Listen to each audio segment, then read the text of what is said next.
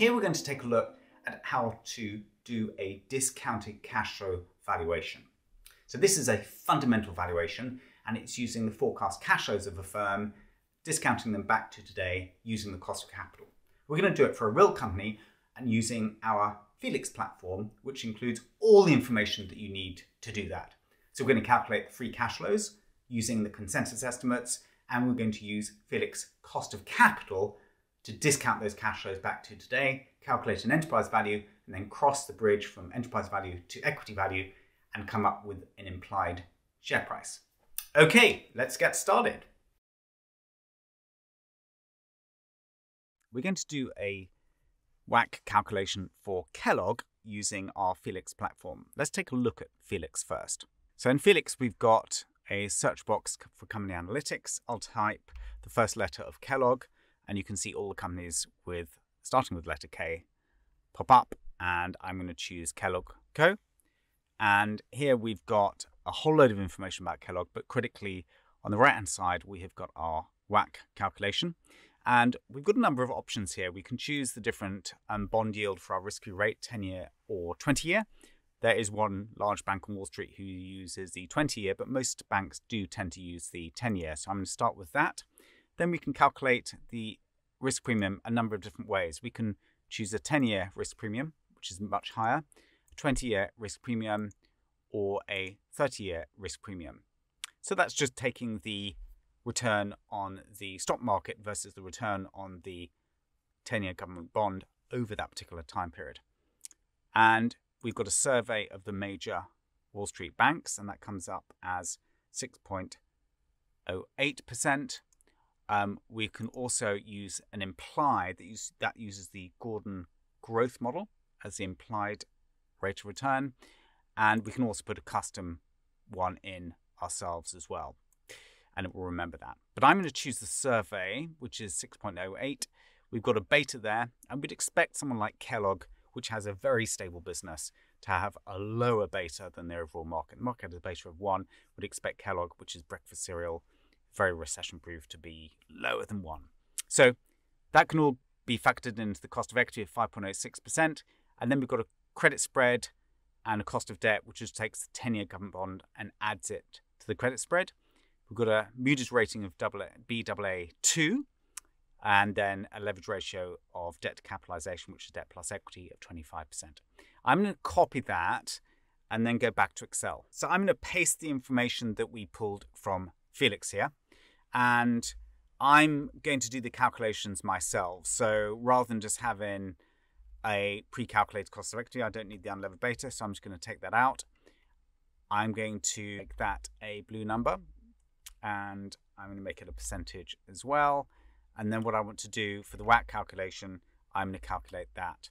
So let me just review how we do this. So we'll take our risk-free rate, which we're using the 10-year government bond here, and then we will add the equity risk premium, and we use the survey of the major banks and we'll multiply the equity risk premium by the adjusted beta.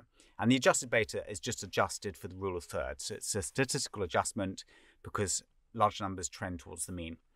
And that means our cost of equity for Kellogg is going to be less than the cost of equity for the market because the beta is 0.6. Now, in order to do our WACC calculation, because we have a tax shield on interest, I'm just going to insert a row and I'm going to put the marginal tax rate down here. Now for the marginal tax rate, if we go back to Felix, you can see that we do have the corporate tax rate here, which is the US corporate tax rate. But what I want to do is I actually want to get the corporate tax rate plus the state taxes, because in the United States, we also have a state tax level for corporates as well as a federal level. So if I go to the 10K here, and it takes me directly to the SEC filing, and I click on the sections here, what I can do is then choose in the notes of financial statements the tax notes. I'm just going to go to income taxes. And if I go down to this little table, you can see we've got the statutory rate of 21%, but then we've also got the state income taxes of 1.8%. So what I'm going to do is I'm going to go back to my Excel.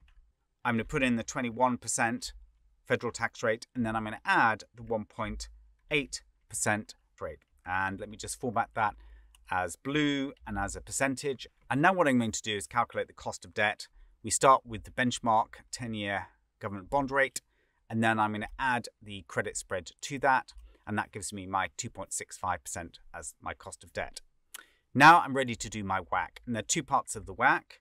One is to take my cost of equity financing, which is 5.09%, but I'm going to weight that by the amount of financing that the equity is providing. So I'm going to multiply it by 1 minus that 25.1% because that is the amount of debt financing. Capitalization is debt plus equity.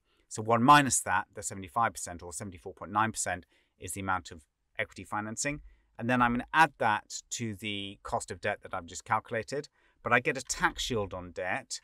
And in my free cash flows, I don't pick up the tax shield on interest because I have free cash flow, the unlevered free cash flow.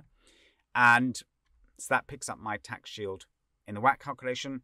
And then what I'm going to do is multiply it by the amount of financing the debt providers are providing. And that gives me a cost of capital of 4.33%. Easily done using Felix. So now we're going to do a discounted cash flow of Kellogg. And we're going to start by calculating the free cash flows. So I come to Felix, and if I just go back to the front of Felix to get into the company page, I'm going to type the letter K, and it pulls up the list of companies called, well, beginning with K, and then I choose Kellogg, and I come to the Kellogg page. Now, what I'm going to do now is I'm going to go down to the very bottom, and you can see we've got the consensus estimates of the research analysts who are covering Kellogg over the next three years. Mostly, the longest period you will get consensus estimates for are three years, because that's usually how far analysts go out. Occasionally, you'll get year four and year five, but if you take year four and year five, often the trajectory of the earnings is not very stable because the number of analysts forecasting beyond three years is very, very little. So you go from maybe 10 analysts forecasting the first three years to maybe two analysts forecasting the latter two years. So it tends to be a bit bumpy. So I'm only going to take the three years of consensus estimates. I'm going to copy that, go to Excel, and we've got our WACC calculation there. And I'm going to go down to my DCF, and I'm just going to paste in the information. I need to do a little bit of formatting here. Just right align that. I'm actually going to take out, this is the last 12 months numbers. I don't really need that. So I'm just going to remove that. I've just selected the column and then removed it. Um, and I need to do a little bit of formatting here. Um, I'm going to choose the percent there and that's should be a calculation. That's a forecast. You just undo that. There we go. So again, that's a hard number. So let me just make that a hard number and then this should be an absolute number. Just move that there. There we go.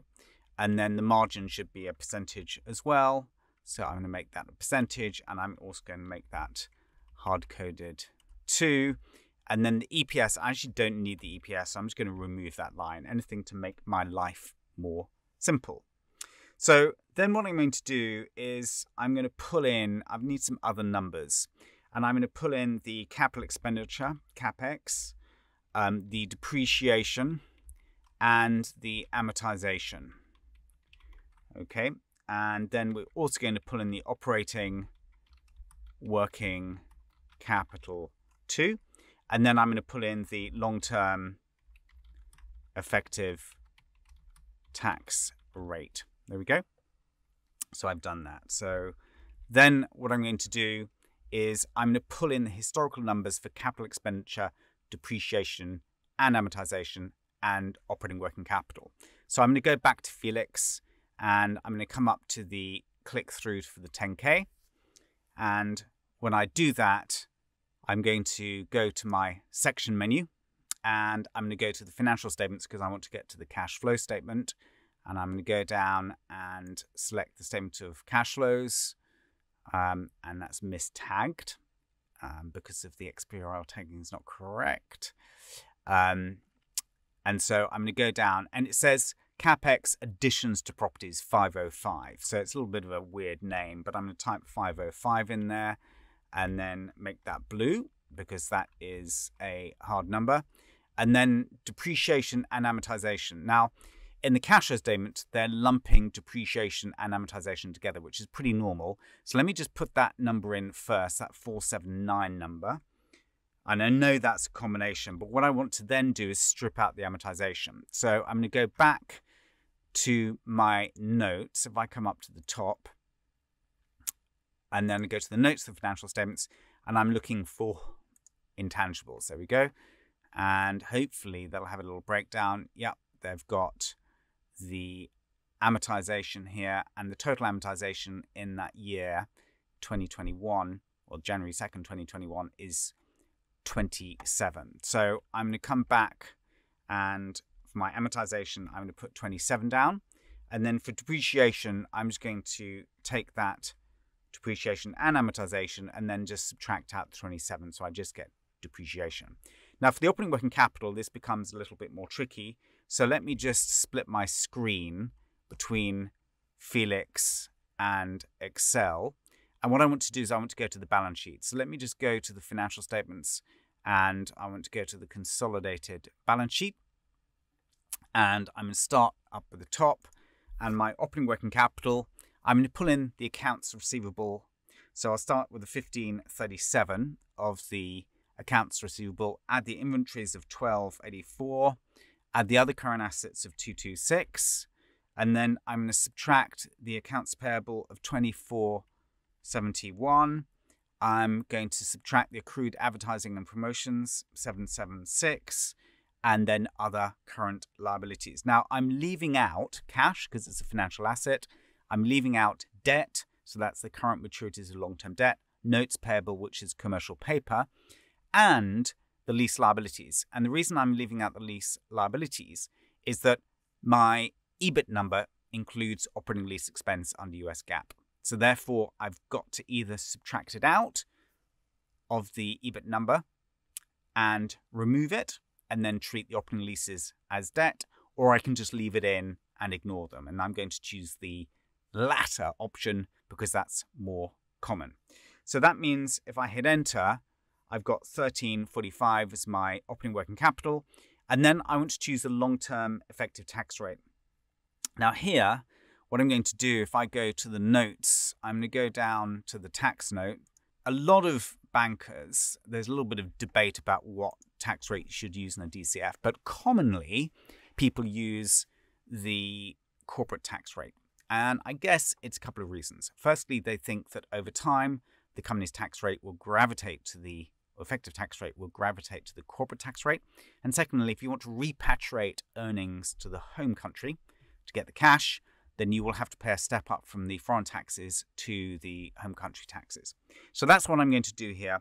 And I'll take 21% and then I'll add the state taxes of 1.8% too. And then hit enter and just format that as a percent. Now I've got to do a little bit of a cleanup now. So I've got my 22%. And then I'm going to do some forecasting. So I'm going to come down here and I'll just type assumptions in here. And the assumptions I'm going to put down are going to be revenue growth. And then my EBITDA margin, capex as percent of sales, amortization just as a dollar amount because I'll keep that flat. And then depreciation as a percent of capex. And then operating working capital as a percent of sales. So for the revenue growth, I've actually for this for the historical years and the projected years, I've actually got that because that was in Felix already. So I may as well just pull those in for those years. But then what I've got to do is I've got to make an assumption going forward. Let me just fix my um, panes there just so we can see which year we're in. So if I come down to the assumptions, and I'm just going to keep it for simplicity at 1.4. Now I just need to forecast out these dates. So I'm going to do another two years because I want a five-year forecast. So that's 23 estimated, and we're going to go to 24 and 25. And you probably could just change this to forecast because now we're forecasting rather than just using estimates. And I'm going to go down and I'm going to make an assumption that we're going to do 1.4%. Let me just copy that and then type over it 1.4, make it blue, and then copy that right. And then the EBITDA margin, again, we have the numbers. If I come up to the Felix stats, format that as a percentage, copy that right. But again, in those last two years, I need to make an assumption and it's pretty flat. So I'll just make it as 16.2% for the last two years and I can kind of fill in the gaps. And then CapEx as a percent of sales. Well, I need to use my CapEx number that I've just put in, divide that by the sales number, and that's rather horrid spelling error. So let me just change that. I can't bear that. It's one thing that's always a little trick is to make sure you just do a check. And then I'm going to format that. Let me go all the way down. There we go. That's going to be a percentage. Now, we only have that percentage in one year because if I copy that right, remember I don't have capex in that year. So I'm going to make an assumption. And for simplicity, I'm just going to assume that capex remains the same percent of sales, 3.7%, and I'll do that for the rest of the periods. That is a bit of forecast in there. Amortization, this is just a, a reference, a set amount, the 27 million. So let me go and get that. And I just need to format that normally. So hopefully that will take it. There we go. And then again, what I need to do is type that in as an assumption and copy that across for the five years. And then I've got depreciation as a percent of capex. So I'm going to go and get my depreciation number. And I'm just going to divide that by my capital expenditure number that I've got up above here format that as a percentage. And again, I'm just going to make an assumption, keep it flat, because Kellogg pretty much is in a steady state already. So I don't need to worry too much about those assumptions. Last but not least, operating working capital. I'll do that as a percent of sales. We normally do operating working capital as a percent of sales because it's so heavily linked to the day-to-day -day operations of the business. So then I'm going to go up and get revenue. And in the historical year, this was 9.8%. Again, we only have that for one year, so I'll just do minus 9.8%.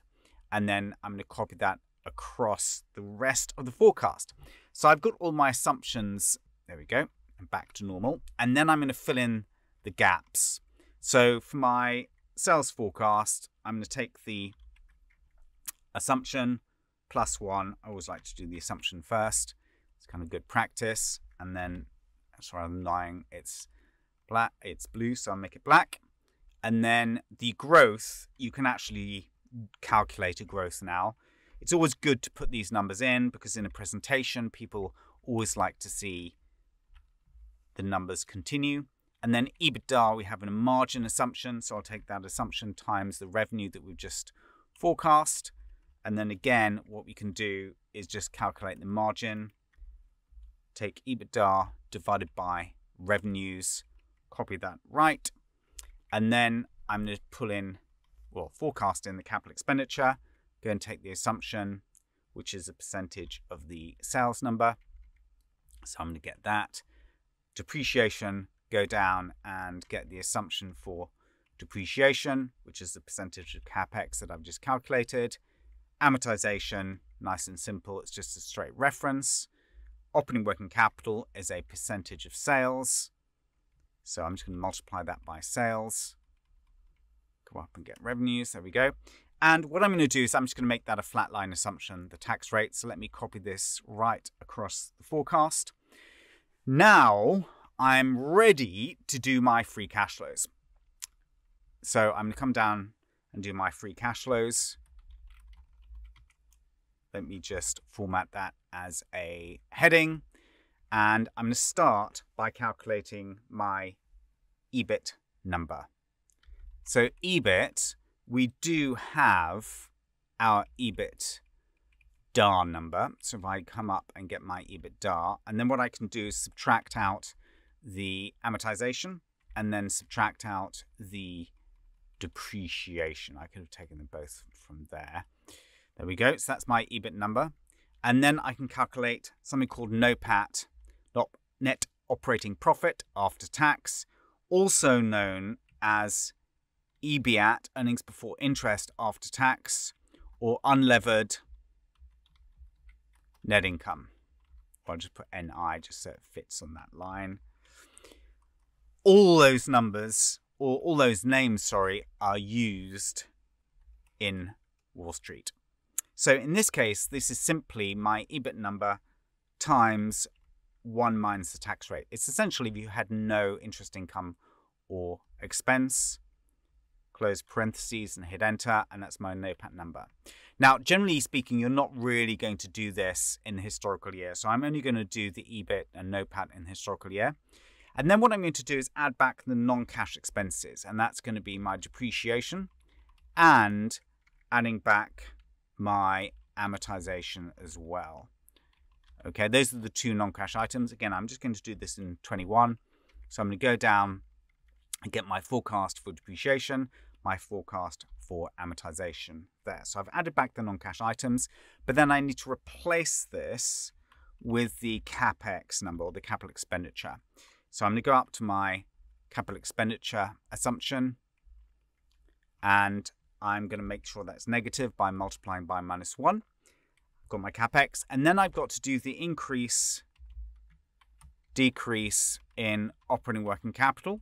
And under every single accounting rule you'll ever do, you always want to take the historical year minus the current year for operating working capital. So I'm going to go up and get my operating working capital in the prior year, and I'm going to subtract it from the operating working capital in the current year, and in this case, it's a cash inflow. This is unusual, but this is because Kellogg has a negative operating working capital.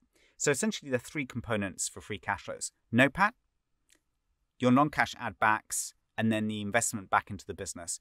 In this case, the capex is an investment, but the operating working capital is actually a release of cash flow.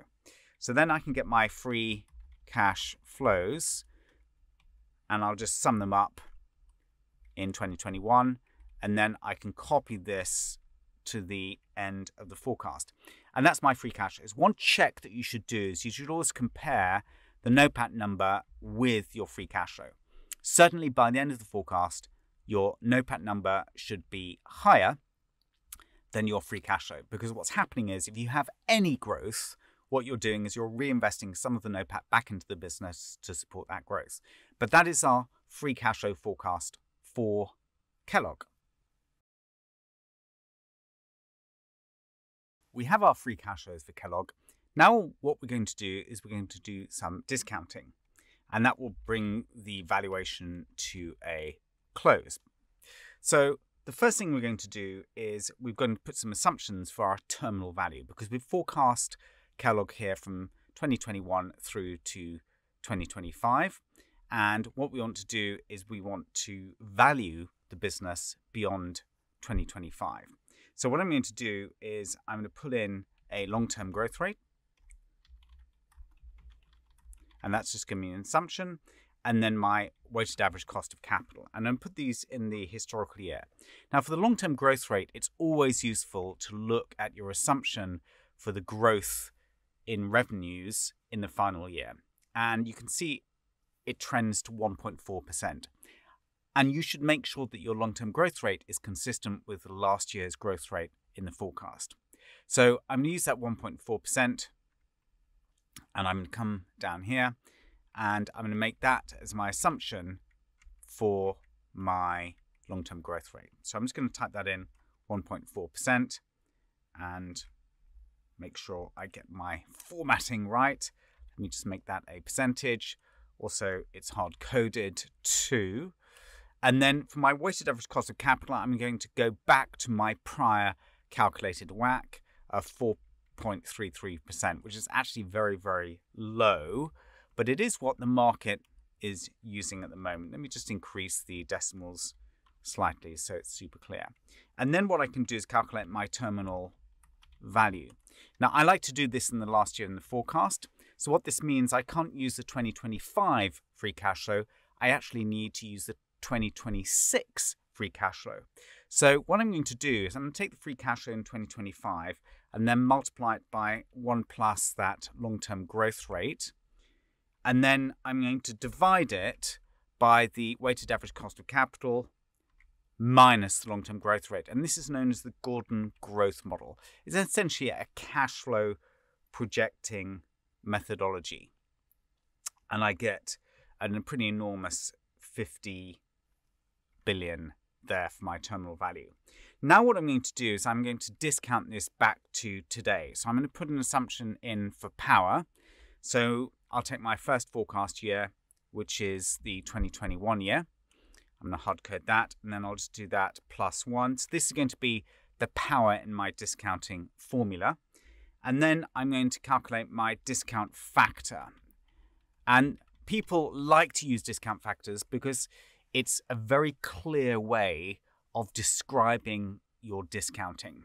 And I'm going to calculate the factor by doing 1 divided by, open parentheses, 1 plus my WACC calculation, absolute reference, close parentheses, to the power of my power above. And I can format that as a percentage. Now, in this case, this assumes that the cash flows are falling at the end of the year, so 1, 2, 3, 4, 5. But what we can do is we can change that to 0.5, which effectively assumes that the cash flows fall in the middle of the year. And that's pretty normal because companies generate cash every single day they operate. So cash is generated gradually through the year, some at the beginning, some at the end, but on average in the middle. So then I'm going to copy this right, and that's my discounting factor. So what this means is a dollar of cash generated in 2025 is worth 82.7 cents in today's money. And then what I'm going to do is I'm going to present value the free cash flows of the forecast cash flows here. And this is pretty straightforward. I'm just going to take the power or the discount factor and I'm going to multiply that discount factor by the free cash flow in the year. And then I'm going to copy that right. I've got a few two decimal places there. So let me reduce that. So that's the present value for my free cash flows. And then I'm going to sum that up and get the total present value of the free cash flows over that forecast period. And that's just a simple sum. So I'm going to sum up those five years worth of cash flows. So that's the value of owning Kellogg over that five year period. And then what I'm also going to do is I'm going to calculate the present value of the terminal value. And the present value of the terminal value, because I've used a Gordon growth method, which is a cash flow method, all I need to do is to take the discount factor in the final year and multiply that by the terminal value that I've calculated in the final year as well. And that will bring that value back to today. So we've got a pretty enormous value for Kellogg. And if I sum that up, I'll get the implied enterprise value. Yeah. So I'm just going to sum that up and I've got about 48 billion. Now I can compare that to where Kellogg is currently trading. And if I go to Felix, just type in the letter K, and then go to the Kellogg, I can see in my equity to enterprise value bridge, we get an enterprise value of about $30 billion. Whereas I get 48 billion. That's an enormous difference. Now, we often would expect the DCF methodology to be higher than the traded market cap, but that's extreme. And I think part of it is my WACC is a little bit low. And sometimes you could be a bit cynical about a banker coming in saying, oh, I think that WACC is too low. But the reality is, the banker who's, advi- who's advised on the last 10 transactions in the sector does know, probably better than anybody, what the WACC should be. Now, I'm going to keep that WACC, but the other thing I could do is I could actually make the assumption that my revenues are not going to grow quite as fast into perpetuity. So if I make that final year 0% for my revenue growth, and then I go down to my terminal value calculation, and I also make my terminal value growth 0%, then you can see actually we're getting much closer to the current enterprise value. So that's 33 billion in our DCF model compared to 29 billion. That's probably a more normal relationship that I would expect. So I think probably our WACC is a little low. And certainly if I change some of these assumptions here, if I made it a 20 year government bond yield and I did an implied cost of capital, I get a cost of capital of 4.77. So it's materially larger. But probably what this means is is that the market is expecting Kellogg to be in kind of long-term decline in real terms because the revenues are flatlining. Basically, the market is not pricing in more value. So I could put those growth rates back, but then come back and if I change my WACC risk-free rate, so that's 1.85%, so 1.85, and that's a 20 year risk rate, which one large bank does. And I use the implied, using the Gordon growth model to get the implied risk premium, just resolving that formula. I get 6.41%. So if I type 6.41%, and then I go back to my DCF, let's see what happens to my value now and I get 40 billion. That's actually closer, but it's still not that close. So it does look like the market is not pricing in any kind of real growth to Kellogg. Let me just put back those assumptions to back to where they were, that 4.33%, and we get the 48 billion. Here we've got an implied enterprise value for Kellogg using the DCF methodology. Now what I want to do is I want to cross a bridge from enterprise value to equity value. So I'm going to calculate the equity value now. And um, in my little forecast here, I've got my 2021 estimate. So I'm just going to use the balance sheet as at 2020. And now what I'm going to do is cross the bridge and I'm going to go to Felix. And you can see here in Felix, I've got all the information that I need. Um, but this includes the latest filing. So this will be as at the 10Q filing because we are in December 2021. But for simplicity, I'm doing the DCF valuation to the beginning of 2021. So I'm actually going to go to the 10K filing here.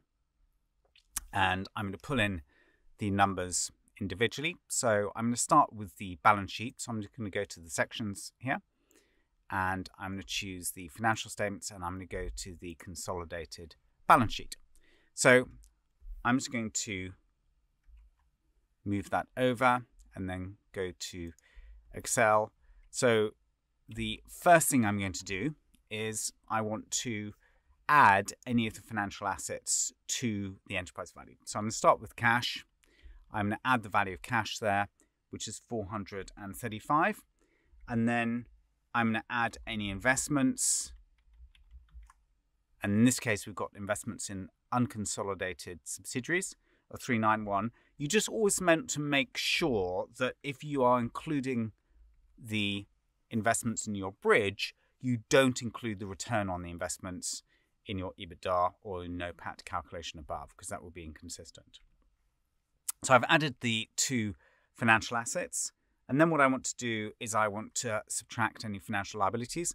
So I'm just going to take the debt number and I'm going to take total debt here. So I'm going to take the 627 for the current maturity of long-term debt. Then the notes payable, which is debt as well. I'm not going to take the current operating lease liabilities because I've included the rent expense in my NOPAT which means it's baked into the free cash flows. So I'll be double counting if I then put them into my bridge as well. And under US GAAP, they put the rent expense as part of cost of goods sold and SG&A costs. So we generally, in US GAAP, will not put them to the DCF. Under IFRS, because they're expensed as part of interest and depreciation, they're not in the free cash flows, in which case you would put them in the bridge, which I know is messy and confusing, but such is life.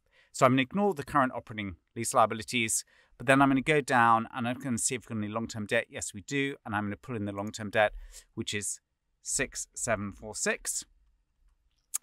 And then I've also got a pension liability, but rather than take it from the balance sheet, what I'm going to do is I'm going to go to the notes to the financial statements because it's always better to take it from the notes. And I'm going to go down and I'm going to look for the um, pension and post retirement benefits. And we want the funded status here. So I'm going to put the pension liability, pension, and other post employment benefit liability. And I'm going to do this in one calculation. So the funded status here is 334. That's for the pension. What you always want to check is whether there are any OPEBs as well. So that's just the. Let's see if they include OPEBs. No, they all seem to lump it in one item, which actually is great. That's nice. So that's all in one item. So that's 334. But what I should also do is I should tax adjust this. And I should use the marginal rate to do that. So I'm just going to get rid of that parentheses and then multiply that by 1 minus the tax rate. And the reason I'm multiplying by 1 minus the tax rate is that this reflects the amount that you would have to pay because when you make a contribution to the pension, you also get a tax deduction at that point. So I'm just going to take this long-term effective rate, which is the same as the marginal tax rate in our model, and that gives me my pension and OPEB liability there. And we've done our debt, and then I can calculate the implied equity value. So here, I'm going to take my implied enterprise value from above. I'm going to add the cash. I'm going to add the investments because they are not included in the operations. But then I'm going to subtract the debt and I'm going to subtract the pension and OPEB liability after tax. And that will give me my implied equity value of about 41 billion. But we've still not finished because what we need to do now is we need to cross the bridge to the share price. So I'm going to start with the shares outstanding. And the shares outstanding is always going to be in the front page of the filing. So I'm going to come up to the front page of the filing and cover page. And down at the bottom on the front page, you can see that we will have the number of shares, which is there. And that's always more recent than the actual balance sheet date. So I'm going to take that, paste it in, convert it to millions rather than numbers. And that gives me my shares outstanding. And then what I need to do is I need to do my RSUs, the restricted stock units. And again, what I'm going to do is go to the notes of the financial statements and I'm going to come down and I'm going to pull in my stock-based compensation. And if I come down a little bit, you should see a little, got stock options there. And then afterwards, usually we normally have the RSUs. Let me just go down. Um, so yeah, we've got two types of RSUs. We've got the employee restricted stock units. There we go. Um, and oh, that's actually 2019 and 2018. So I've just got the employee ones. So that's 1736. Be careful because that's in thousands. So if I go here, I'm going to type 1.736. So then what I can do is I can kind of do a subtotal here because what this represents, this is kind of the pre-stock option share price. So I'm going to do pre, including the stock option share price. You can actually make this iterative, but it's easier to do it this way. So I'm just going to take my implied equity value, I don't need that parentheses, divided by the sum of the shares outstanding plus the RSUs. And that is before including the stock options. So now what I'm going to do is get the stock options and I'm in the right place because if I come back up here, what I'm looking for is the table and we've got outstanding or exercisable. The vast majority of Wall Street use outstanding, and let me explain why. The exercisable the ones are actually able to vest right now, but the ones that are still within the vesting periods, in other words, owned by employees but they can't exercise them, are the non-exercisable. And it's the non-exercisable plus the exercisable which make up the outstanding. Now, some people say, well, only take the outstanding if it's an acquisition. I would disagree with that.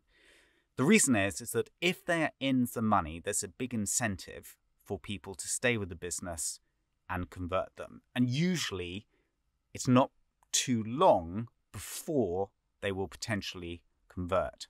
So what we would normally do is, in fact, I actually want to take the 20, um, 20 end, which is up here, is we take the outstanding number and check if they're in the money. Because even though there's 4 million which are not exercisable, if they're in the money, there's such a strong incentive for people to stay with the business.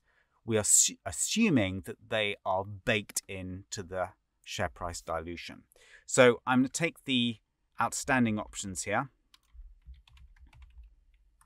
And you can see here they are in millions, which is kind of confusing given the other number was in thousands. So you've got to really have your wits about you. And then what I'm also going to do is put my strike price down. And the strike price here is a 65. And you can see there in the money. So it's a big incentive to stay with the business if the value was $119. And then I'm going to calculate the net new shares. And there's a little formula here, kind of shortcut formula, which is the current share price minus the strike. So that's the profit you make. And divide that by the, well, not the current share price, the pre-option share price. And then multiply by the outstanding options. And then hit enter. Hit enter. And that gives the dilution. Now, what you've got to be slightly careful about is that they can be anti-dilutive. What a good thing to do here is wrap this with a max function.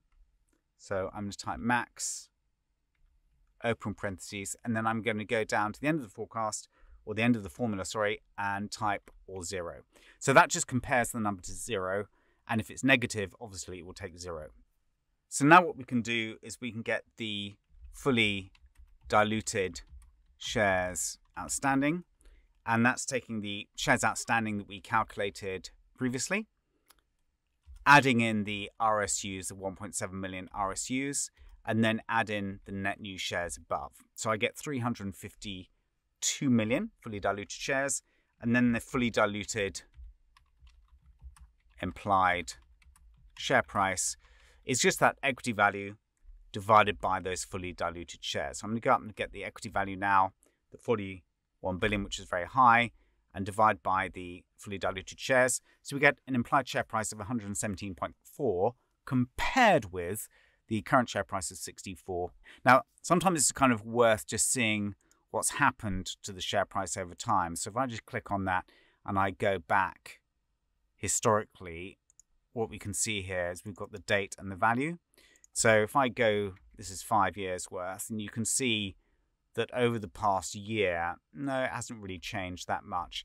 So I th think that if you're looking at, you know, why is this? Why is this value so high? It's really to do what, um, with what the market is valuing the growth to be. And if I go back and make my long-term growth rate 0% for my terminal value, let me just go back up for that, make that 0%, and then also make my forecast 0%, then actually we get to a value for Kellogg which is pretty darn close to the current valuation at $75 compared to the current share price of 64 bucks. And that will be a normal relationship we would normally expect to see in a discounted cash flow.